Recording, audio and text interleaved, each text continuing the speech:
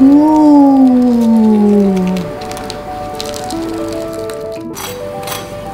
Garing banget kan? Mari kibik, mari kita bikin risol dogut ayam.